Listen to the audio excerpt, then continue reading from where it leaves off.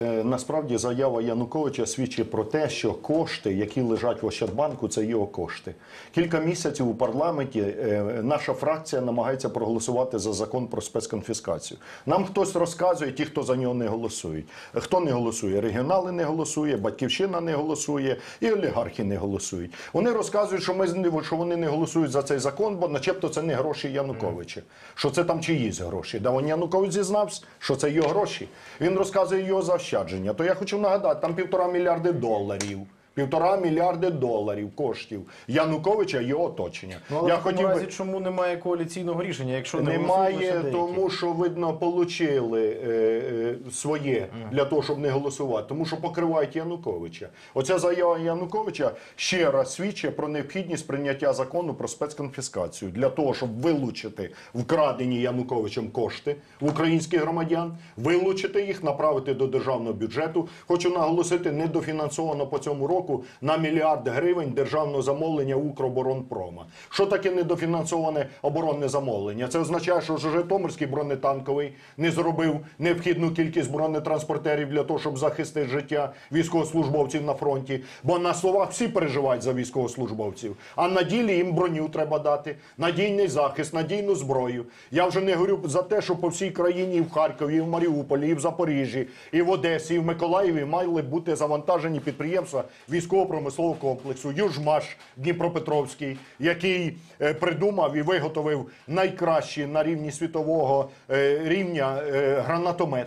Южмаш п'ять днів на тиждень не працюють. Немає зарплати, немає чим заводу за каналізацію заплатити. Півтора мільярди доларів грошей, вкрадених Януковичем у народу, лежать третій рік в Ощадбанку, і ніхто їх не може конфіскувати.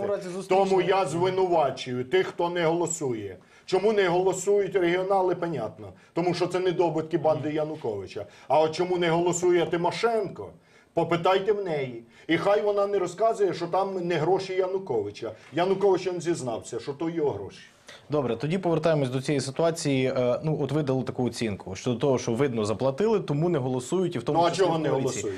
Просто припускаємо. Та якщо, наприклад, таке голосування відбудеться і закон буде ухвалений, де гарантія, що не будуть ветувати так само через той механізм, про який ви говорите? Президент е, Порошенко, е, а як він може заветувати, якщо він сам неодноразово звертався до парламенту, щоб проголосували цей закон? Інше питання, що вони дурника клеять. Порошенко звертається до парламенту, каже, проголосуйте за відставку суддів, які судили майданівців. Порошенко звертається до парламенту, проголосуйте за спецконфіскацію, щоб гроші Януковича вернути до бюджету. А фракція Петра Порошенка не чує його. І, як правило, 20-30 депутатів від БПП витягують картки коли треба завалити питання, і зникають кудись. Грановський, Кононенко, Березенко і усі інші наближені до Петра Порошенка. Тобто це вони тако е, людей за дураків тримають, що президент хороший, він от звертається, а Верховна Рада погана. Тільки в тій Верховній Раді неоднорідна ж ситуація. Там, крім фракції радикальної партії, де нас 20 депутатів, там майже 140 депутатів від БПП. І без них жодне рішення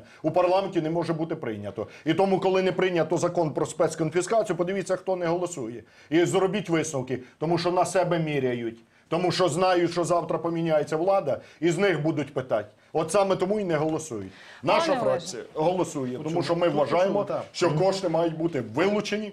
Слухайте, Янукович зміг украсти в українців ці гроші. Ну, Зміг. була трохи інша система, і тоді він був Пане. Олеже, так Е, от давайте ми про Януковича продовжимо говорити. Дивіться, ви кажете, що клеять Я дурника. закінчу, я, е, дорогенька Анічка, я закінчу важливу думку з вашого Ну, я дозволу. чекаю, так. Янукович зміг украсти? Зміг.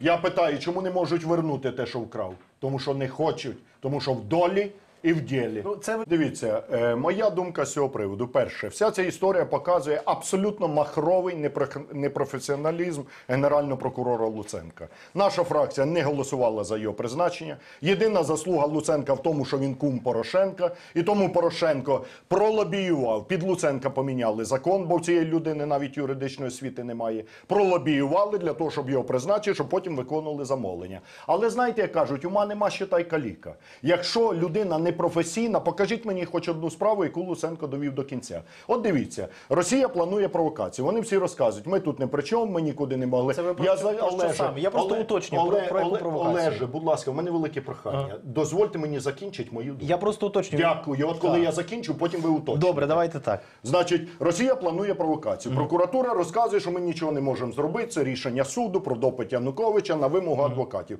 Окей, ви не могли його переграти. Янукович виходив в якості свідка, а ви, прокурори, візьміть, зачитайте йому обвинувачення по справі Майдану, по справі державної зради. Янукович закликав війська Путіна до України. Вони цього не зробили. Я вважаю, що єдино, хто правильно поступив в цій ситуації, Аваков. Те, що вони, ви ж розумієте, що там блокували те СІЗО, то для картинки, а насправді тих просто беркутівців не везли для того, щоб не дати Януковичу піаритися.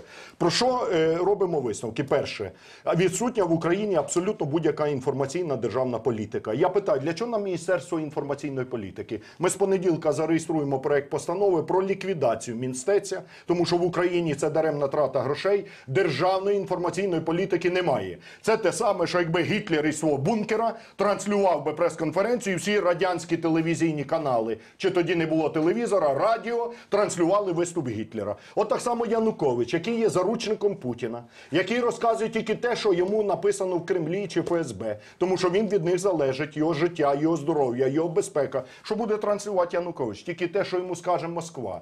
І наші всі канали це показують. Я питаю, де Національна рада з питань телебачення і радіомовлення? Де Міністерство інформаційної політики? Чому не зашкодили ці інформаційні диверсії? Інше питання, що Янукович дебіл як був, так і є. І від його прес-конференції ні холодно, ні жарко, і нічого нового він не сказав, а в черговий раз показав, що він валянок. І найголовніше, що він показав, що він зрадив Донбас. Бо через Яну зрадив своїх виборців. Бо саме через Януковича сьогодні війна йде, і Януковичу треба було в суді не скасовувати відеодопит, щоб давати приводи йому казати, що вони бояться бачити його свідчення отримати. Треба було проводити відеодопит і пред'явити Януковичу підозру і звинувачення у зраді України за те, що закликав війська Путіна. От що треба було робити. Але в Луценка кебети немає. Ті, хто біля нього, чи бояться йому сказати, чи таких же підібрав дурних, як і сам. І тому вийшов пшик, дискредитували Україну, показали всьому світу, типа Янукович хоче дати покази, а вони його бояться. І тому я вважаю, що з цього треба зробити дуже серйозні висновки. Якщо у нас уже в Верховній Раді появляється Бондаренчиха ходить, яка давно сидіть повинна, вона вже ходить по Верховній Раді. Янукович на ефіри повертається. Послухайте, ребята, ми з вами за півкроку до реваншу. І знаєте, якої банди реваншу? Банди Бойко, Фірташ, Льовочкін і е, Медведчук, Путін. От який реванш. Не Донецький реванш. Донецькі вони сьогодні у Москві переважно більшість Ну, Донецькі. А оця банда Льовочкін, Бойко, Фірташ, оце вони візьмуть реванш. А знаєте чому? Тому що вони в змові з президентом. Тому що перед президентськими виборами Петро Порошенко їздив у Відну, Відень, підписав із Фірташом таємну угоду, про яку сьогодні нічого не відомо. Я з президентом, коли зустрічався, я йому говорив: візьміть, е, розірвіть цю угоду, візьміть публічно, вийдіть, путаці зірвіть. Розказує, нічого немає. Якщо нічого немає, я питаю, чому сепарський інтер досі віщає? Якщо немає таємної угоди, я питаю, що Бойко за півмільярда вкрадених доларів на вишках Бойка не сидить в тюрмі. Якщо немає таємної угоди, я питаю, чому Борман, я маю на увазі Льовочкін, це як Борман у Гітлера, глава канцелярії. Льовочкін глава канцелярії в Януковича. Чому Янукович бігах, а Льовочкін депутатом у Верховній Раді? А я знаю відповіді на ці питання, тому що вони домовились з нинішньою владою, і саме тому їх не притягують до відповідальності. Я Петру Олексійовичу, ми коли минулого тижня з ним зустрічалися, ото коли розказували про ті шатуни, плани і так далі. Я з президентом зустрічався. Він мене питає: слухай, а що вони хочуть, ці мітингувальники? Я кажу, ну як що хочуть? Винести вас звідси к єдреній фені. Як? При чому тут я? Вони ж парламентські вибори хочуть дострокові. Кажу, ні, Петро Олексійович. Слідом за парламентськими, якщо не зразу, будуть дострокові президентські вибори. І якщо ви думаєте, що ви самий розумний, не тіште себе. Є розумніші. Тому що ваші договорняки Ваші з усіма дотерти з Оніщенком тре, з Льовочкіним тре, з Бойком тре, і з Путіним тре, і з Медведчуком тре, і з Тимошенчихою тре, з усіма тре. Дотреться до того, що рейтинг буде нижче плінтуса раз, і що найголовніше, що оця банда Януковича назад дорветься до влади. Ви чули, що сьогодні Азаров у Москві сказав? Ми обов'язково вернемося. Ви знаєте, я б недооцінював би його слова. Тому що з такою політикою, яку веде нинішня влада, президент, уряд, парламентська більшість, ці е, бандити, ці вбивці, справді можуть вернутися. Тепер щодо Але я зроблю пане все, Олеже. але я зроблю все, щоб не дати цій банді вернутися. Крім того, я президенту сказав під час розмови зараз публічно, користуючись нагодою перебування в на вашому каналі, я ще раз вимагаю від генерального прокурора Луценка, від президента Порошенка, який призначив свого кума генеральним прокурором, е, внести подання до Верховної Ради на притягнення до кримінальної відповідальності і арешт Бойка, Льовочкіна. Чому в Іспанії прокуратура затримує фірташа? А лише тих- Чому наших не затримує? Лише тих три прізвища ви зараз називаєте. Ну, це тобто тут апологети, зла? це апологети режиму Януковича, які відповідальні. Бойко півмільярда доларів украв. Пане Я питаю,